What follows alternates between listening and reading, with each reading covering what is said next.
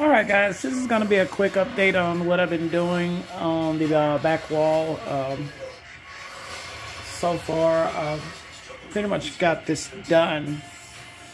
All I got left is the top corner.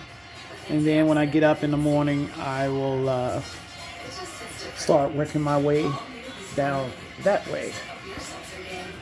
But for right now, uh, this is as far as I've gone.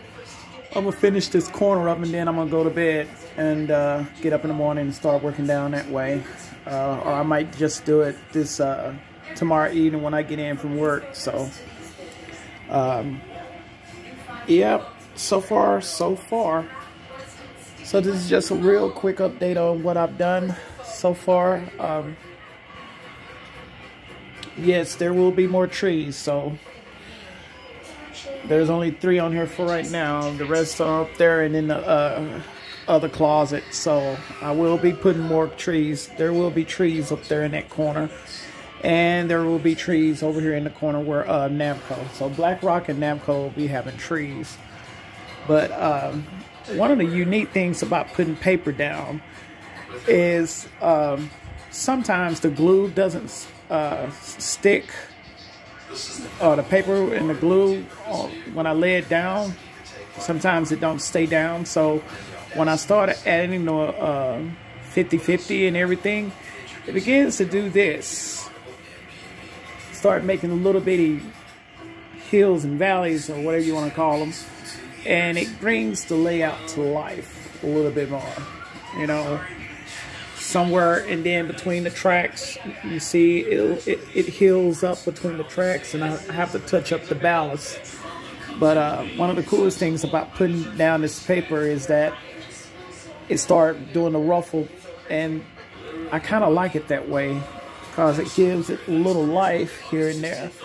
And sometimes you know it's a little bit flat in some places but overall you know, it's doing this, and I like that.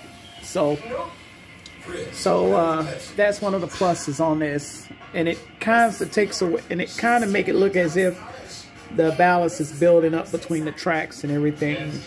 So that's fine. I like that. I really do. So this is the update.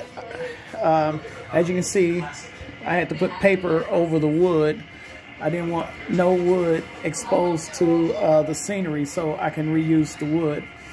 So that's another good thing about putting paper down is the reusable of the wood. And um, and all I have to do when I get done with this is just rip everything up and start over if I want to. So, all right. Thank y'all for watching this update. Uh, I hope y'all have a wonderful evening, uh, wonderful morning. It's uh, almost 12 o'clock midnight. So thank y'all for watching and uh, I'm off to bed when I get that done. But I will see y'all later. Y'all take care. Bye.